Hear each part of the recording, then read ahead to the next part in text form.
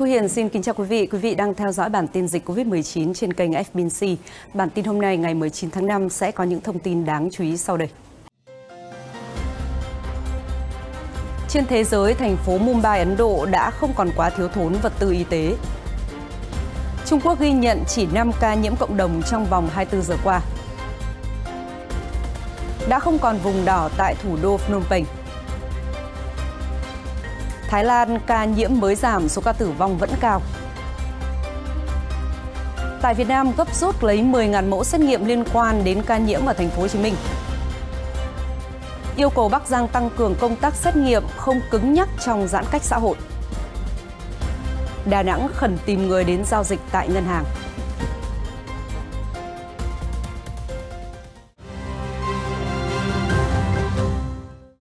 Tính đến 18 giờ ngày 18 tháng 5, số ca mắc COVID-19 trên toàn cầu đã vượt mốc 164 triệu ca, trong đó số ca chữa khỏi là hơn 143 triệu ca và số ca tử vong vì dịch COVID-19 đã vượt mức 3,4 triệu ca. Theo đó, Mỹ vẫn là nước chịu ảnh hưởng nặng nề nhất với hơn 33,7 triệu ca mắc, trong đó hơn 600.000 ca tử vong. Ấn Độ, vùng dịch lớn thứ hai thế giới với tổng số người nhiễm COVID-19 đã hơn 25 triệu ca và hơn 278.000 ca tử vong. Brazil, vùng dịch lớn thứ ba thế giới có số ca nhiễm hơn 15,6 triệu ca Tuy nhiên, số ca tử vong ở quốc gia này đứng thứ hai thế giới với hơn 436.000 ca. Pháp đứng vị trí thứ tư với tổng số người nhiễm COVID-19 gần 5,9 triệu ca, trong đó hơn 107.000 ca tử vong. Thực vị những ngày qua, Ấn Độ tiếp tục là điểm nóng nhất về COVID-19 trên thế giới. Số ca tử vong có sự gia tăng đột biến khi trong vòng 24 giờ qua có tới gần 4,4 ngàn người thiệt mạng. Tuy nhiên, số ca nhiễm mới đã giảm nhẹ khi còn 263 ngàn, trước đó một ngày là hơn 281 ngàn. Việc các ca nhiễm mới giảm liên tục trong 10 ngày đã khiến Mumbai, thành phố đông dân nhất nước cũng giảm đi áp lực về thiếu thốn vật tư y tế và giường bệnh. Tiến sĩ Cho Hari của Bệnh viện thành phố cho biết, hiện nay họ đã có đủ số giường bệnh và không còn ai phải ngủ hành lang hay ngủ nơi công cộng nữa. Ông nói thêm hồi trước mỗi ngày là 1.500 ca nhiễm mới, hoặc ít nhất cũng là 1.400 ca. Giờ đây mỗi ngày chỉ khoảng 150 đến 200 ca, và phần lớn trong số họ cũng không phải trường hợp nghiêm trọng cần chăm sóc đặc biệt. Ông Cho Hari cho rằng các lệnh phong tỏa đã phát huy tác dụng. Được biết, Ấn Độ đã tiến hành các lệnh phong tỏa từ cuối tháng 4 Vừa rồi, thủ đô New Delhi và hàng loạt bang khác đã quyết định kéo dài lệnh phong tỏa. Ngoài ra, Thủ tướng Narendra Modi cũng kêu gọi mọi người tiếp tục thận trọng, nhất là giãn cách xã hội và không tụ tập đông người. Chính phủ cam kết sẽ đẩy mạnh việc tiêm chủng vaccine vào những ngày sắp tới. Chính phủ Trung Quốc mới đây thông báo trong 24 giờ qua họ chỉ có 5 ca lây nhiễm trong cộng đồng, trong đó 3 ca ở thành phố Liêu Ninh và 2 ca ở tỉnh An Huy. Ngoài 5 ca lây nhiễm trong cộng đồng, 24 giờ qua Trung Quốc có thêm 20 ca nhiễm do nhập cảnh, 8 ca ở Triết Giang, 6 ca ở Thượng Hải, 4 ca ở Quảng Đông, 1 ca ở Hồ Nam và 1 ca ở Tứ Xuyên. Về số ca tử vong không có trường hợp nào được ghi nhận. Với 20 ca mới được ghi nhận, tính đến nay Trung Quốc đã có tổng cộng 5.858 ca nhập cảnh, phần lớn đều đã khỏi bệnh, chỉ còn 259 người vẫn đang điều trị, không có trường hợp nhập cảnh nào tử vong. Tính đến nay, Trung Quốc ghi nhận gần 91.000 ca nhiễm, hơn 4.600 người đã tử vong. Bộ Y tế Trung Quốc thông báo đến nay đã có hơn 400 triệu liều vaccine được đưa ra cộng đồng, trải dài trên khắp cả nước. Song song với đó thì chiến dịch tiêm chủng vẫn tiếp tục được đẩy mạnh. Cụ thể, tổng cộng hơn 406 triệu liều vaccine đã được phân phát ra ngoài xã hội. Tuy nhiên, Bộ Y tế Trung Quốc đã từ chối cho biết bao nhiêu liều trong số đó là thực sự đã được tiêm chủng. Hiện nay, tất cả vaccine Trung Quốc đều dùng là hàng nội địa.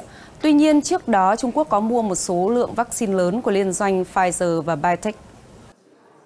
Ông Ketche là phó thống đốc khu vực thủ đô Phnom Penh cho biết kể từ hôm nay ngày 19 tháng 5 thì cơ bản là không còn vùng đỏ, tức là vùng cực kỳ nguy hiểm tại địa phương các ca nhiễm mới đã giảm liên tục trong những ngày gần đây. Phó Thống đốc cũng thông báo các chợ búa và nơi hoạt động mua bán có thể được mở cửa trở lại sau ngày 21 tháng 5, nhưng chỉ là những nơi bán các mặt hàng thực sự cần thiết và vẫn phải tuân thủ cách ly nghiêm ngặt. Kể từ ngày 20 tháng 2, chính quyền thủ đô Phnom Penh phân chia các vùng thành nhiều màu khác nhau. Màu đỏ là cực kỳ nghiêm trọng, cam là nghiêm trọng và vàng là đã được khống chế vẫn tiềm ẩn nguy cơ dịch quay lại. Hiện nay, Campuchia ghi nhận tổng cộng gần 23.000 ca nhiễm, 154 người đã tử vong. Trong 24 giờ qua, nước này có thêm 360 bệnh nhân mới. Thưa quý vị, Bộ Y tế Thái Lan thông báo trong ngày 18 tháng 5 họ có thêm 35 ca tử vong, một con số vẫn ở mức rất cao. Tuy nhiên, số ca nhiễm mới đã giảm so với những ngày trước, chỉ còn 2.473 ca. Trong số 2.473 ca nhiễm mới được ghi nhận, có 1.793 ca là lây nhiễm trong cộng đồng, 680 ca là lây nhiễm trong nhà tù. Như vậy, từ khi làn sóng COVID-19 thứ ba bùng phát tháng trước đến nay, Thái Lan đã có thêm gần 85.000 ca nhiễm và hơn 42.000 người đã bình phục trở về với hoạt động đời thường. Trong số 35 ca tử vong trong 24 giờ qua, thủ đô Bangkok tiếp tục là địa phương dẫn đầu với 16 ca, Độ tuổi tử vong là từ 2 tháng đến 93 tuổi, 17 là nam và 18 là nữ. Một nửa bị thêm cao huyết áp và tiểu đường. Số nạn nhân còn lại cũng mắc một số bệnh khác như là thận, nhồi máu cơ tim hoặc béo phì. Trong số hơn 2.000 ca nhiễm mới, thủ đô Bangkok tiếp tục dẫn đầu với 873 ca. Tiếp theo là Nonthaburi 155 ca, Samut Prakan 121 ca và Pathum Thani 117 ca. Mới đây thì Bộ Y tế Singapore cho biết nước này đang phải đối mặt với tình trạng tái bùng phát dịch COVID-19 sau một thời gian đã nỗ lực kiểm soát dịch hiệu quả. Vào ngày 17 tháng 5 vừa qua, Singapore tiếp tục ghi nhận 28 ca nhiễm COVID-19 mới, trong đó có 21 trường hợp lây nhiễm trong cộng đồng. Hiện Singapore đang siết chặt các biện pháp phòng chống dịch COVID-19 trong bối cảnh đảo quốc sư tử chứng kiến tình trạng gia tăng số ca nhiễm trong cộng đồng, với 131 ca được xác nhận vào tuần trước. Để đối phó với làn sóng bùng mới, giới chức Singapore cho biết sẽ đẩy mạnh kế hoạch tập trung tiêm một liều vaccine cho nhiều người nhất có thể thay vì cung cấp đủ hai liều vaccine cho số lượng người ít hơn. Theo số liệu được chính phủ ghi nhận, khoảng 1,28 triệu người trong tổng số 5,6 triệu dân của Singapore đã được tiêm đủ hai liều vaccine. Mặc dù số ca nhiễm mới ở Singapore còn rất nhỏ so với các nước Đông Nam Á khác, nhưng chính quyền nước này đã tiến hành siết chặt các biện pháp chống dịch từ ngày 16 tây tháng 5. Mới đây, Singapore đã cho đóng cửa hầu hết các trường học và học sinh sẽ chuyển sang học trực tuyến tại nhà cho đến khi năm học kết thúc vào ngày 28 tháng 5 tới. Đài Loan quốc gia đã xem là tương đối thành công trong việc kiểm soát đại dịch COVID-19 mà không cần phải thực hiện các lệnh phong tỏa, hiện đang phải oằn mình đối phó với làn sóng bùng phát tồi tệ nhất. Lần đầu tiên kể từ khi đại dịch Covid-19 bùng phát cho tới nay, Đài Loan ghi nhận số ca nhiễm trong ngày kỷ lục vượt 200 ca. Chính quyền đã lên tiếng kêu gọi người dân không đổ xô đi tích trữ hàng hóa, thực phẩm và vật dụng cá nhân. Vào tuần trước, hòn đảo này đã ghi nhận 700 ca nhiễm mới, với số ca nhiễm tăng kỷ lục. Đây là hội chuông cảnh báo cho chính quyền Đài Loan phải nhanh chóng thực hiện các biện pháp phòng chống dịch. Hiện Đài Loan đã thiết lập các biện pháp kiểm soát biên giới từ sớm và áp dụng hệ thống cách ly tại khách sạn và tại nhà nghiêm ngặt. Tuy Đài Loan vẫn chưa áp dụng các lệnh phong tỏa hoàn toàn, nhưng giới chức hòn đảo kêu gọi người dân không đi ra ngoài nếu không cần thiết. Tính đến nay, Đài Loan ghi nhận tổng cộng hơn 2.000 ca nhiễm và 12 người đã tử vong. Thưa quý vị, vào đầu tuần, thì Indonesia đã ra thông báo đình chỉ một lô vaccine AstraZeneca để thực hiện một cuộc kiểm tra về tính an toàn của vaccine sau khi nước này ghi nhận trường hợp tử vong đầu tiên vì tiêm vaccine AstraZeneca. Theo thông báo của Bộ Y tế Indonesia, việc đình chỉ được đưa ra sau báo cáo về trường hợp tử vong của một thanh niên 22 tuổi được tiêm vaccine AstraZeneca vào ngày 5 tây tháng 5. Một lô vaccine bị đình chỉ của hãng AstraZeneca gồm 450.000 liều trong tổng số 3 triệu 853.000 liều mà Indonesia tiếp nhận theo cơ chế COVAX của Tổ chức Y tế Thế giới hỗ trợ Hầu hết các liều vaccine trong đợt này đều sử dụng để tiêm chủng cho các đại diện của lực lượng vũ trang Indonesia, cũng như công nhân khu vực công và tư nhân ở Jakarta và tỉnh Bắc Sulawesi. Hiện Indonesia đã thực hiện tiêm chủng cho gần 9 triệu người trong tổng số 187 triệu dân của nước này, theo kế hoạch tiêm chủng toàn quốc bắt đầu vào tháng Giêng. Indonesia hiện nay ghi nhận hơn 1,7 triệu ca nhiễm cao nhất Đông Nam Á và hơn 48.000 người đã tử vong. Mới đây, Tổng Giám đốc Tổ chức Y tế Thế giới WHO Tedros Adhanom Ghebreyesus tuyên bố rằng thế giới đang trong tình trạng phân biệt chủng tộc bằng vaccine. Trong một diễn đàn hòa bình Paris, ông Tedros cho rằng thế giới đang trong thời kỳ phân biệt chủng tộc bằng vaccine khi các nước có thu nhập thấp và trung bình chiếm gần một nửa dân số thế giới, nhưng chỉ có thể nhận được 17% vaccine. Cho đến nay, WHO đã vận chuyển hơn 63 triệu liều vaccine đến 124 quốc gia và lãnh thổ theo cơ chế COVAX của Liên Hiệp Quốc, với mục tiêu tiêm cho khoảng 3% dân số của các nước nghèo trong nửa năm nay. Trước đó, WHO cũng đưa ra lời kêu gọi các nhà sản xuất vaccine COVID-19 trên toàn thế giới cung cấp vaccine cho cơ chế COVAX sớm hơn kế hoạch, nguồn cung bị thiếu hụt do các vấn đề sản xuất vaccine của Ấn Độ bị gián đoạn. Theo hãng tin Reuters, thì Johnson Johnson sẽ cắt giảm số lượng cung cấp vaccine cho Liên minh châu Âu EU trong tuần này. Đây được xem là động thái cho thấy hãng dược phẩm này đang phải đối mặt với các vấn đề cung ứng trầm trọng. Theo hợp đồng với EU, J&J đã cam kết vận chuyển 55 triệu liều vaccine trong quý 2 năm 2021, nhưng đến giữa quý, hãng này mới giao khoảng 5 triệu liều vaccine với số lượng chưa bằng 10% mục tiêu đã cam kết. Hiện vẫn chưa có thông tin về con số cụ thể mà J&J đã giao cho EU trong tuần này.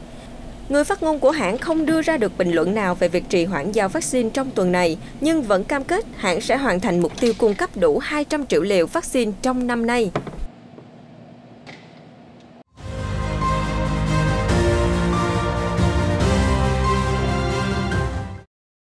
Bộ Y tế cho biết tính từ 12 giờ đến 18 giờ ngày 18 tháng 5, nước ta có thêm 48 ca mắc COVID-19. Đây đều là các ca ghi nhận trong nước tại khu vực đã cách ly phong tỏa. Cụ thể các ca mắc mới trong nước như sau. Tại tỉnh Điện Biên, có một ca là bệnh nhi nữ 3 tuổi là F1 của bệnh nhân 4.378 đã được cách ly trước đó. Tỉnh Bắc Giang có 33 ca là F1 liên quan đến các khu công nghiệp Quang Châu, Vân Trung, Định Trám đã được cách ly trước đó. Tỉnh Bắc Ninh có 13 ca là F1 liên quan đến ổ dịch tại xã Mẫu Điền, huyện Thuận Thành và một công nhân của công ty Canon đã được cách ly trước đó. Tỉnh Thái Bình có một ca liên quan đến dịch tễ với bệnh nhân 3042 đã được cách ly trước đó. Về tình hình điều trị, trong ngày có thêm 19 bệnh nhân được công bố khỏi bệnh. Như vậy, tính đến 18 giờ ngày 18 tháng 5, Việt Nam ghi nhận 4.512 ca mắc COVID-19. Số ca mắc mới từ ngày 27 tháng 4 đến nay là 1.472 ca. Đến nay đã có 2.687 ca đã được chữa khỏi và 37 ca tử vong. Liên quan đến ca dương tính mới nhất tại thành phố Hồ Chí Minh thì trong đêm qua lực lượng chức năng đã tăng cường lực lượng lấy 10.000 mẫu xét nghiệm cho người dân ở chung cư Sunview Town và khu công nghệ cao thành phố Hồ Chí Minh. Ngay sau khi ghi nhận ca dương tính, lực lượng y tế thành phố đã huy động 40 đội để phục vụ lấy mẫu xét nghiệm cho hơn 6.000 cư dân ở ba lốc chung cư Sunview Town, đường Gò Dừa, thành phố Thủ Đức, nơi ca dương tính này cư trú. Trong buổi chiều hôm qua, ngày 18 tháng 5, lực lượng chức năng đã phong tỏa tòa nhà A1 của chung cư. Đồng thời, Trung tâm Kiểm soát bệnh tật thành phố Hồ Chí Minh cũng cho biết 4 trường hợp sống cùng nhà với ca dương tính này đã cho kết quả âm tính lần một với virus SARS-CoV-2. Trước đó, người đàn ông sinh năm 1986 sống tại chung cư Sunview Town ở thành phố Thủ Đức đến bệnh viện Vinmec quận Bình Thạnh để khám bệnh. Tuy nhiên, do có dấu hiệu sốt, ho, đau họng, giảm vị giác, nên người đàn ông được cách ly và lấy mẫu xét nghiệm với SARS-CoV-2. Đến trưa ngày 18 tháng 5, người này có kết quả dương tính lần một với SARS-CoV-2. Người đàn ông trên sống cùng với mẹ, vợ và hai người con. Anh này làm việc cho một công ty ở quận 3. Cơ quan y tế cũng điều tra truy vết được 61 người tiếp xúc. Ngoài ra, 17 người tiếp xúc với người vợ tại nơi làm việc là khu công nghệ cao quận 9, thành phố Thủ Đức. Hiện các trường hợp tiếp xúc F1, F2 tại nơi làm việc của hai vợ chồng đã được lấy mẫu xét nghiệm và đưa đi cách ly. Chiều hôm qua, sau khi ghi nhận một ca nghi mắc COVID-19 tại trụ sở, Bộ Giao thông Vận tải đã yêu cầu tất cả nhân viên không ra ngoài và đóng cửa trụ sở này. Theo đó, ca nghi mắc làm việc tại phòng hành chính tổng hợp tại trụ sở chính của Bộ Giao thông Vận tải ở địa chỉ số 80 Trần Hưng Đạo, thành phố Hà Nội. Ngay sau đó, lực lượng y tế đã có mặt ngay lập tức tiến hành phun khử khuẩn truy vết các trường hợp liên quan. Thưa quý vị, trong cuộc họp trực tuyến vào ngày hôm qua, thì Phó Thủ tướng Vũ Đức Đam đã yêu cầu Bộ Y tế tỉnh Bắc Giang tăng cường công tác xét nghiệm đồng thời không cứng nhắc trong việc giãn cách xã hội, tiếp tục duy trì hoạt động sản xuất của các nhà máy được đảm bảo an toàn dịch bệnh. Phó Thủ tướng Vũ Đức Đam đã yêu cầu Bắc Giang đẩy nhanh tốc độ xét nghiệm hơn nữa. Hiện xét nghiệm PCR mẫu đơn là tốt nhất, nhưng trong tình hình hiện nay, Bắc Giang cần phải sử dụng xét nghiệm PCR mẫu gộp. Theo Phó Thủ tướng Vũ Đức Đam cho biết, Bộ Y tế đã có hướng dẫn xét nghiệm mẫu gộp 5 mẫu đơn, nhưng điển hình là Đà Nẵng đã làm đến mẫu gộp 10 mẫu đơn, mẫu gộp 20 mẫu đơn. Do vậy, những đơn vị có kinh nghiệm thực tiễn chuyên làm mẫu gộp 10 mẫu đơn, 20 mẫu đơn đang chi viện cho Bắc Giang phải triển khai ngay.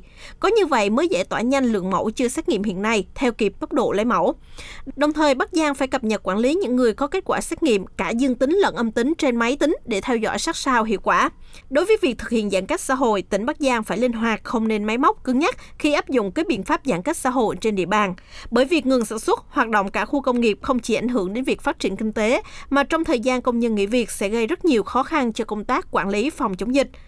Từ ngày hôm qua 18 tháng 5, tỉnh Bắc Giang đã thực hiện cách ly xã hội theo chỉ thị 16 của chính phủ đối với huyện Việt Yên và ba xã Tiền Phong, Nội Hoàng, Yên Lư của huyện Yên Dũng, tạm dừng hoạt động đối với bốn khu công nghiệp Vân Trung, Đình Trám, Sông Khê, Nội Hoàng và khu công nghiệp Quang Châu. Liên quan đến ca dương tính mới phát hiện thì thành phố Đà Nẵng vừa phát đi thông báo khẩn tìm người từng đến giao dịch tại ngân hàng Vietcombank tại quận Sơn Trà.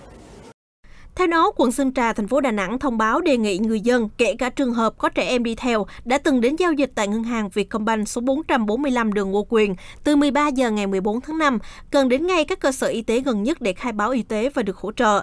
Liên quan đến ngân hàng này, ca dương tính được ghi nhận là nữ bệnh nhân tên TTS, sinh năm 1971, trú tại tổ 1, phường Mân Thái, quận Sơn Trà.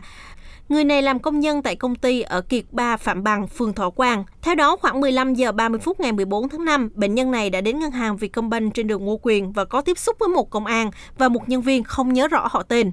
Đồng thời, Sở Y tế Đà Nẵng cũng phát thông báo yêu cầu những người đã nhập cảnh Việt Nam sau khi hết cách ly tập trung về lưu trú làm việc trên địa bàn thành phố từ ngày 4 tháng 4 đến ngày 5 tháng 5, nhanh chóng liên hệ trung tâm y tế quận huyện để được thực hiện xét nghiệm.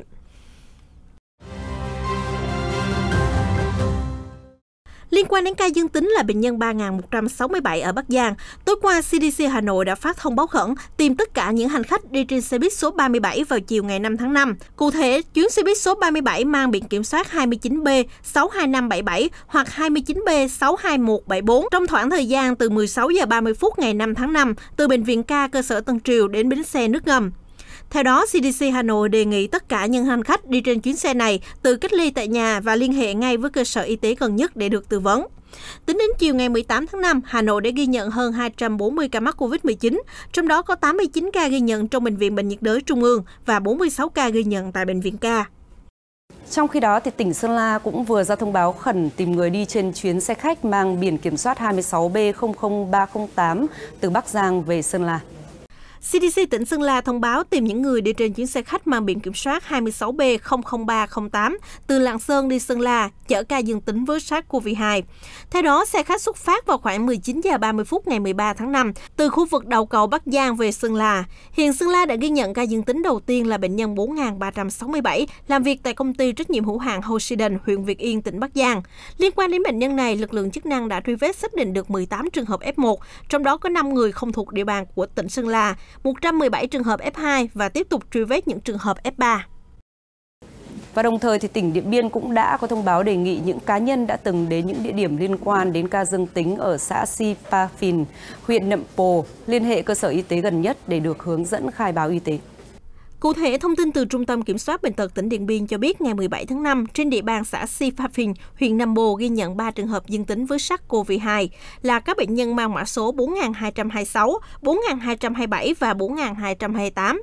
Đây đều là F1 của bệnh nhân 3758. Theo đó, những cá nhân này đã từng đến những địa điểm công cộng dưới đây, cần khẩn trương liên hệ các trạm y tế gần nhất để được hướng dẫn khai báo y tế.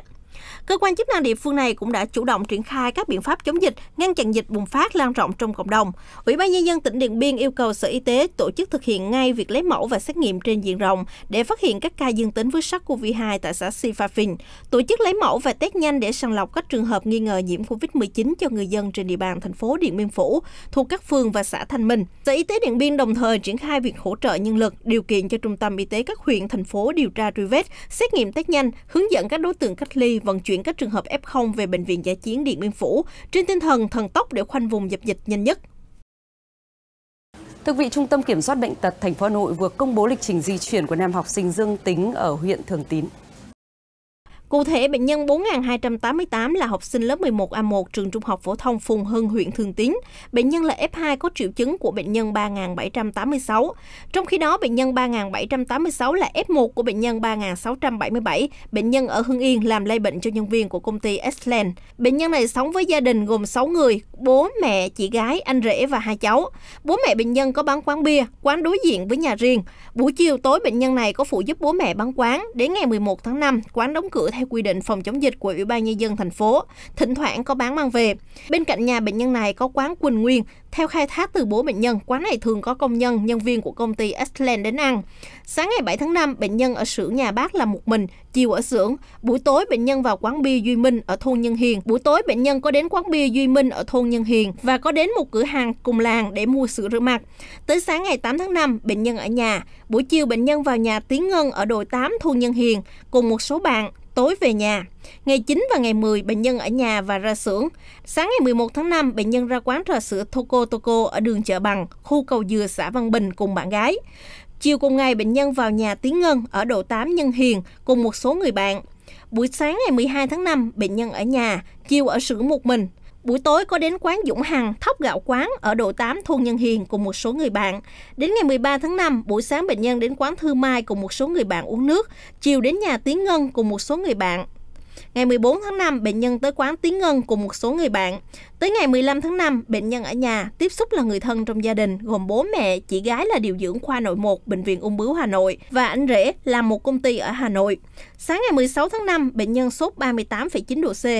Người nhà đã thông báo với trạm y tế xã về yếu tố tiếp xúc với F1 của bệnh nhân 3.786 và có triệu chứng. Ngay sau đó, bệnh nhân được xác định là trường hợp F2, được chuyển vào Bệnh viện Đa khoa Thường Tín và lấy mẫu xét nghiệm. Sáng ngày 17 tháng 5, bệnh nhân có kết quả xét nghiệm dương tính. Sau khi ghi nhận thêm 3 ca dương tính với SARS-CoV-2 có liên quan đến ổ dịch tại xã Công Lý và xã Đậu Lý, huyện Lý Nhân trong sáng ngày 18 tháng 5, CDC Hà Nam đã tiến hành cách ly tập trung 24 bé học sinh lớp mầm non 3 tuổi và 6 cô giáo trực tiếp giảng dạy các cháu. Hiện ngành chức năng đã túc trực 24 trên 24 tại nhà dòng giáo sứ Phú Đa, xã Công Lý, nơi cách ly tập trung các cháu bé và giáo viên. Trước đó, địa phương này xác định cháu DNB sinh năm 2017 là con gái của bệnh nhân 4.375 đã dương tính với SARS-CoV-2. Và những thông tin vừa rồi đã khép lại bản tin dịch COVID-19 hôm nay. Chúng tôi sẽ còn tiếp tục cập nhật những tin tức mới nhất trong bản tin chiều nay. Mời quý vị đăng ký kênh để theo dõi.